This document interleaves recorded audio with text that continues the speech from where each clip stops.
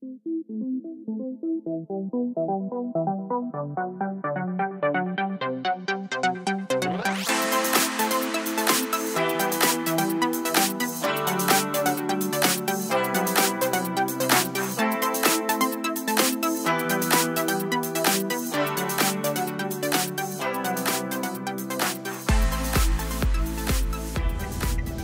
Good morning guys! Today is September 3, 9.30 a.m. At pupunta kami ngayon sa Batangas! At kasama namin ngayon ang mga fur babies namin na sila Cloud and si Star. Cloud? Star! Star, come here. Say hi, say hi. Cloud, come here. Cloudy. Ayan, nainip na sila guys. Ay, sa likod sila, yan. So, today pupuntahan natin yung isa sa mga pinaka pinupuntahan, isa sa mga nire-review din ng mga vloggers sa TikTok, sa YouTube, which is ang G7 Golden View Resort sa Nasugbu, Batangas. At magbibigay kami sa inyo ng mga honest na feedback and reviews at share din namin sa inyo kung ano yung mga nagustuhan namin at ano din yung mga possible na hassle namin since kasama namin yung mga pets namin. So, samahan nyo kami guys and don't forget to finish watching this video and to click like and subscribe samahan nyo kami. So tara, let's go!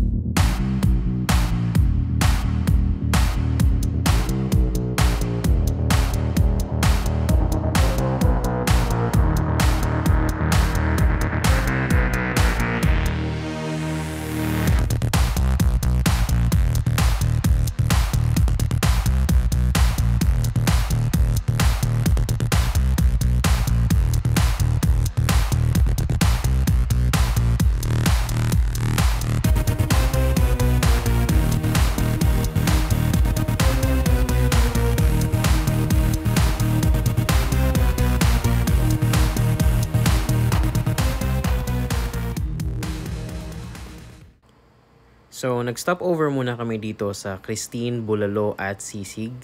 Ilang beses na kami kumakain dito and uh, malapit lang to sa Mahogany Market. At ito yung mga pagkain nila guys. So, meron silang mga sisig, bulalo, mga seafoods, um, drinks. Uh, meron din sila ngayon mga bagong mga coffee and milk teas na available. So, pero today, ang in-order lang namin ay yung kanilang bulalo na bagay na bagay sa malamig at maulan na panahon. Kita nyo guys yung serving oh. Sabi nila it's good for 2 to 3 people pero for us, kaya to at up to 4 packs or 4 to 5 packs pa dahil sa dami ng mga laman niya. So, sobrang sarap nito guys. Tingnan nyo, umuusok pa yung bulalo.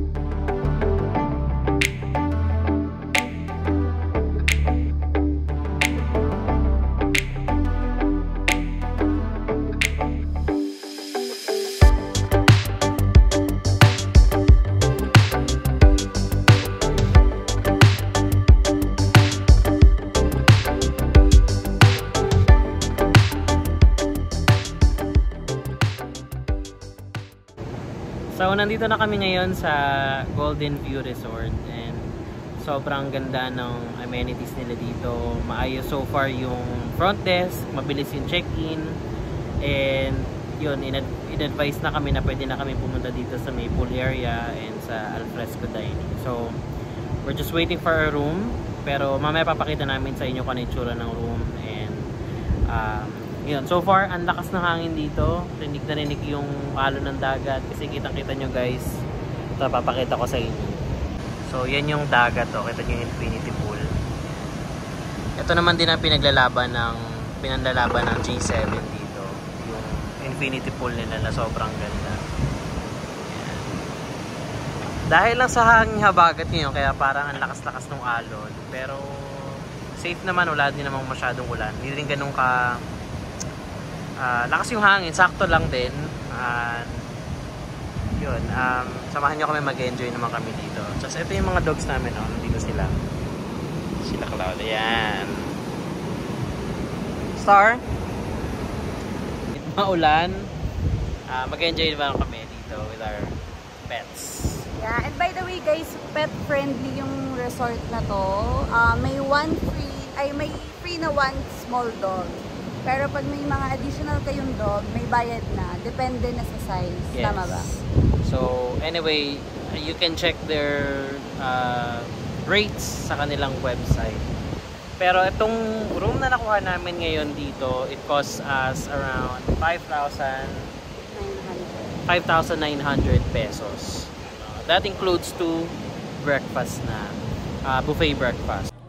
So this is our room guys and this is the deluxe room type nila dito sa G7. Ayan. Sakto lang yung room for two persons. And ang maganda sa kanila yung aircon nila is um, split type. Tapos um, ayan, may mga ano dito, may mga towels. Kompleto sila, may mga beach towels. Ayan, meron mga conditioner, shampoo, heater, and drawer. Sleepers. May safe, and safe. Sleepers. Dito ay lagay ng damit. Ayan. Ayan. Tapos dito naman, sa side na to, nandito yung kanilang CR. Maganda yung CR nila guys. And malinis. See, as you can see, merong sliding na ano, so hindi tatalsik yung tubig no, while nag-shower kayo. So may mirror.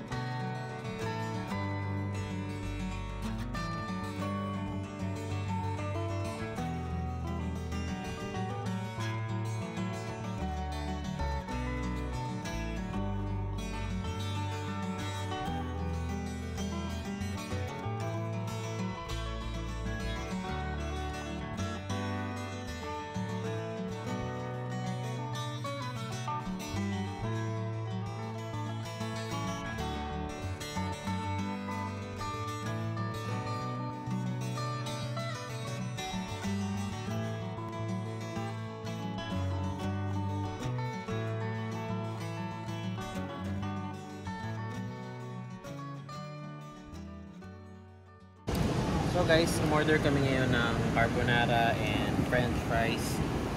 Umorder din kami ng mango juice at ng brewed coffee nila. Sobrang sarap din naman yung kanilang carbonara. Creamy. Uh, marami ding cheese, tama-tama yung lasa. Tsaka yung fries na tingnan nyo, sobrang dami din. So, for its price, good for sharing. Pwedeng pwede na. Um, kung marami kayong pupunta rito, sulit na sulit pa rin ako.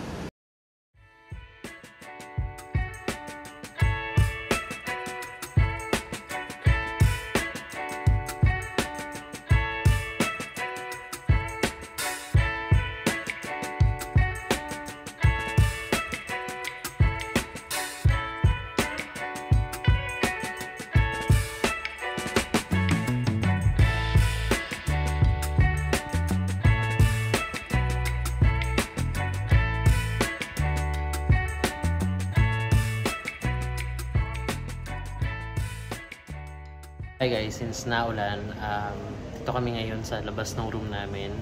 Nag-order na lang kami ng pagkain at pina-room service namin. So, ito yung mga food namin. Ito yung mga in-order namin. Sinigang na hipon, yan. Bagay na bagay sa Bumabag yung cold weather. Tsaka itong um, Bistek Tagalog. bistek Tagalog. So, yung sinigang na hipon, may kasama na talaga siyang rice. So, samahan nyo kami. Let's enjoy our dinner for tonight.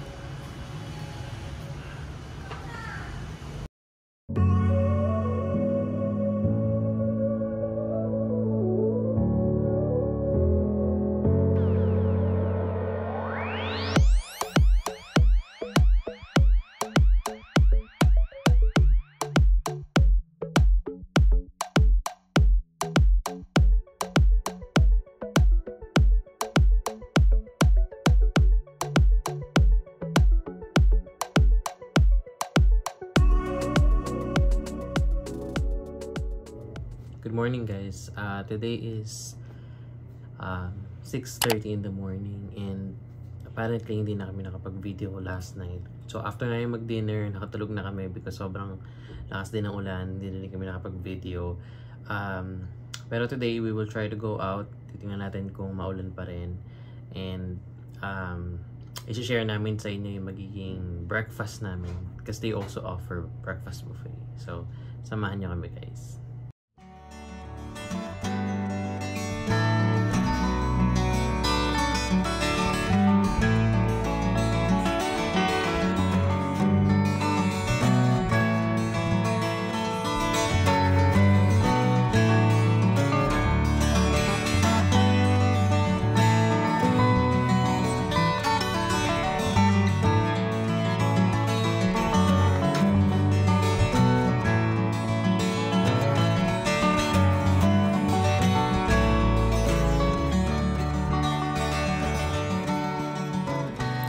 2 thumbs up naman sa G7 Golden View Resort dahil tignan nyo dito si kuya kahit na maulan, bumabagyo, uh, still minemaintain at nililinis niya yung pool.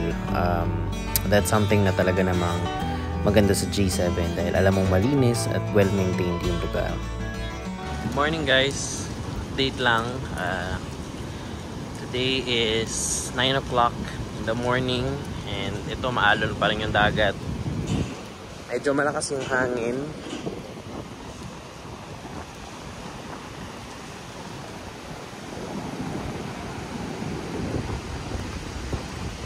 Pero sobrang ganda naman ng view. Kita nyo naman.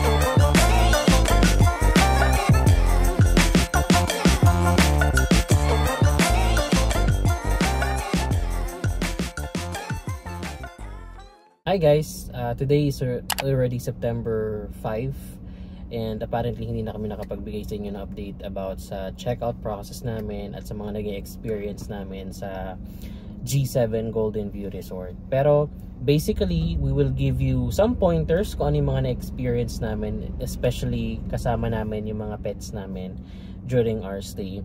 So first things first, isa sa mga um, hindi naman negative pero medyo hassle na na-experience namin was their cable TV connection. Um, from the time na nag-check-in kami till nag-check-out kami, hindi talaga gumana yung TV nila.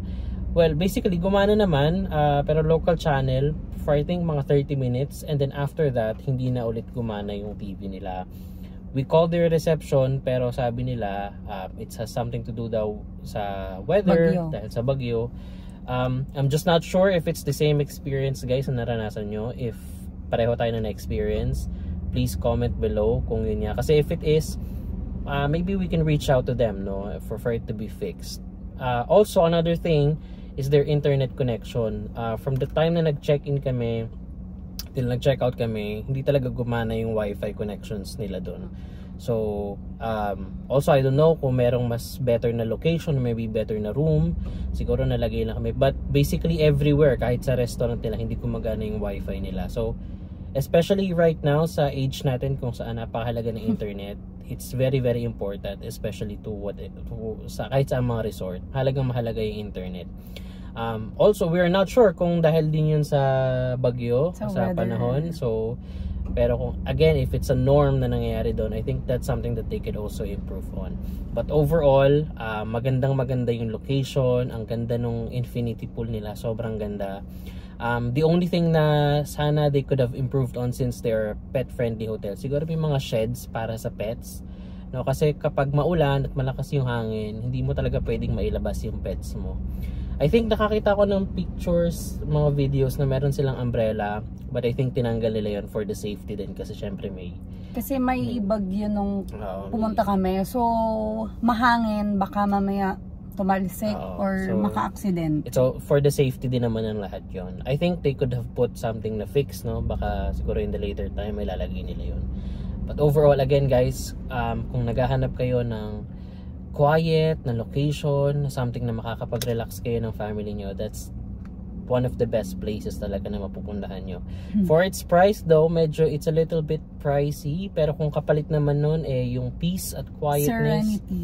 serenity tsaka yung view especially I think kung uh, maganda yung sunset talagang napakasarap dun sa pool area that's still worth it guys so overall uh, we would rate it 8 over 10 para sa experience at sa sa lahat-lahat pati yung food napakasasarap guys at ang dami ng serving yung mga kinain namin doon uh, from merienda hanggang dinner until breakfast lahat quality so again it's 8 over 10 for us So, napakaganda ng uh, G7 Golden View. I think uh, we would still recommend it for you guys to try. Um, and And hope yeah, ah, yung mga ano nila, staff nila. Yung mga staff nila sobrang babait. Every Very time na may question kami, they would answer us. Tutulungan nila kami. Um, hindi talaga sila nag-hesitate to help no when you ask for assistance. Kaya 10 over 10 naman no yung yung services nila doon. So still I would highly recommend for you guys to try it. Um, meron din silang promo I guess, parang right now September meron silang 15% Weekday off. Yes, a weekly promo 15% off from Tuesday till Thursday. Tama ba? Tuesday till Thursday. no? Monday, Monday to Ah, sorry. Monday till Thursday. Thursday ang kanilang promo. So, meron silang 15% off sa lahat ng rooms nila from Monday through Thursday. So, that's something that you also can consider. Alright. But anyway, thank you so much guys for watching our videos and I hope na-enjoy nyo yung view at na-enjoy nyo yung stay namin together with our pets na sila Cloud and si Star. So, don't forget to comment kung nakapag-stay na kayo sa G7 Golden View Resort. Comment down below and share nyo din yung mga naging experiences ninyo. And also don't forget to like and subscribe sa aming mga videos. Marami pa tayong mga i-review ng mga resort next time. Thank you guys for watching and have a good day. Bye!